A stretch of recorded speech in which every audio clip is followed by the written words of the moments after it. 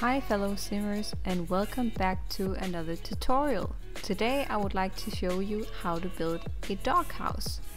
So it's gonna turn out something like this one. It is functional. Um, you can ask your uh, your dog to go inside it. So let's just uh, check it out. So we can get our dog here Snowflake to lie down hopefully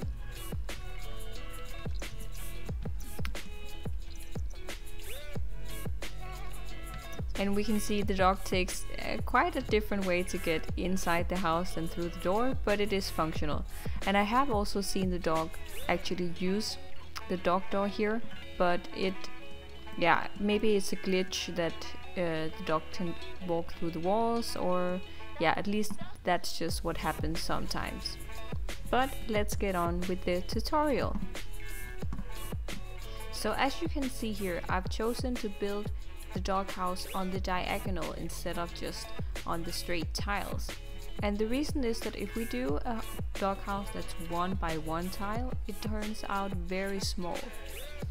And if we do one that's two by two tiles, it's somehow a little big, bit big for me at least.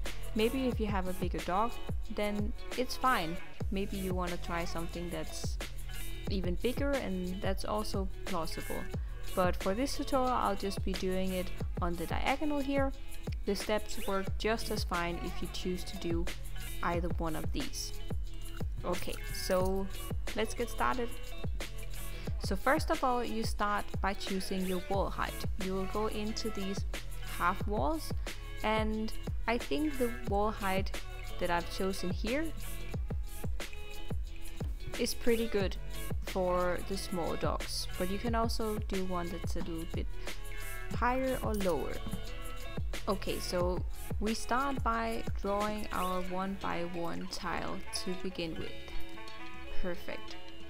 The hard part comes in now where we have to put the roof on because the roof is gonna be lower than it usually is and usually we can't put roofs on half walls so what we're gonna do is we're gonna draw just a regular room that's a little bit away from this one. That's gonna be important in a while.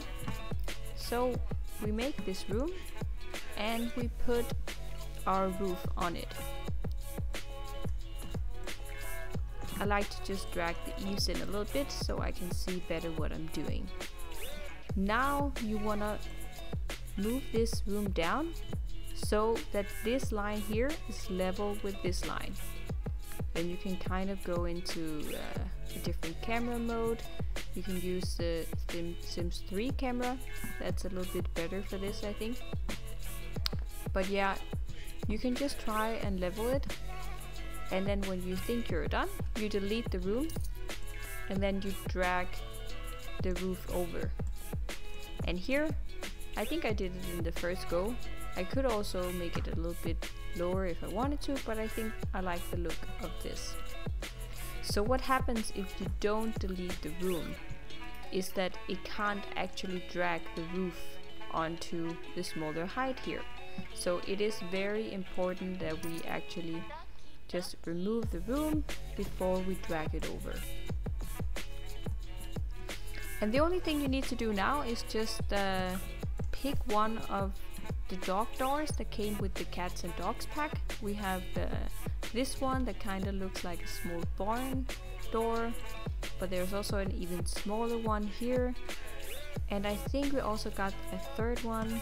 Yes, this one, which is a little different than the other ones. It looks a little bit more fancy. But from here, it's just decorating. So one of uh, some of the most important things are to, for example, change uh, this on the half walls. Definitely putting on some roof trim. I think some of the bigger ones work the best. And then just decorate how you would decorate a normal house. So yeah, that's uh, that's it. Don't forget to decorate the inside as well. It is definitely like a small, cute decorative uh, detail.